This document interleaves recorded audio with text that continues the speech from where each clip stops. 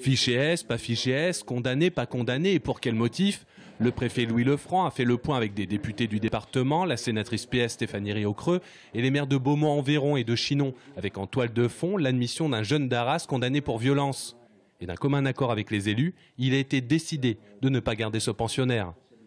Il sera pris en charge sous une autre forme, par d'autres structures, parce qu'évidemment on ne va pas le laisser tomber, et c'est important qu'il le sache, puisqu'il s'est porté volontaire pour euh, y être accueilli.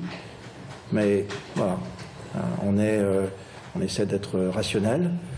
Pour les députés PS du Chinonais, Laurent Baumel, il y a eu comme un malentendu, puisque les élus avaient demandé que les condamnés pour faits de violence ne soient pas admis.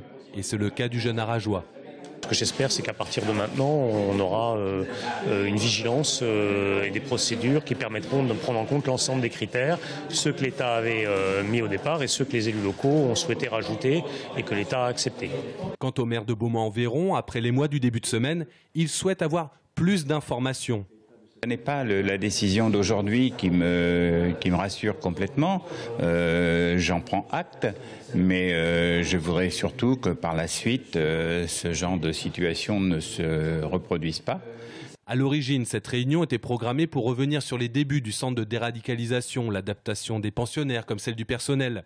Le directeur du groupement d'intérêt public, réinsertion et citoyenneté, Pierre Pibaro, est revenu sur le rythme des entrées à Pontourny.